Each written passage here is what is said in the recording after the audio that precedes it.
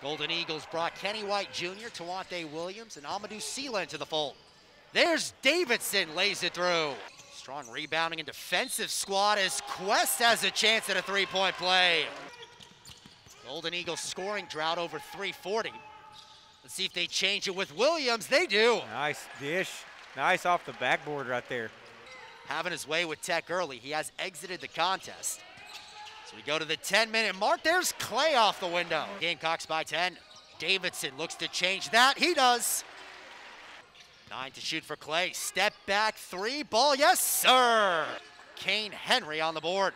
Clay, nifty move, and bangs in the three.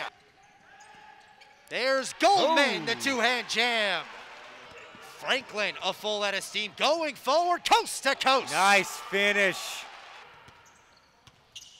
Clay to Franklin lays it in.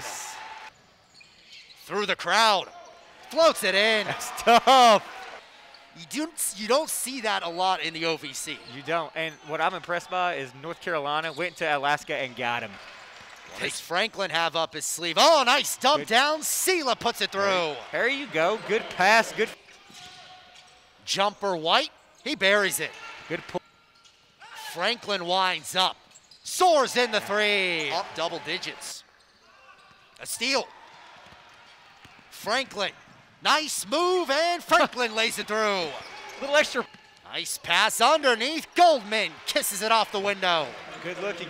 Five to shoot for Finch. Ball on the ground. It's picked up by Tech. And the Golden Eagles, Junior Clay lays it through. Starts for the Trojans. That's pretty dang good, especially in that conference. Nice play by Franklin. As Henry's slow to get up, you can see him hobbling.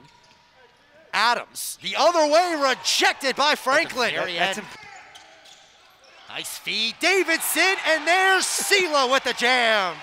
3.45 left. Sela, he's got another There one. you go. 45 to go. Clay controls. Underneath, Franklin, it's through. Beautiful. Clay looking for space. Knifes his way to the basket and lays it in.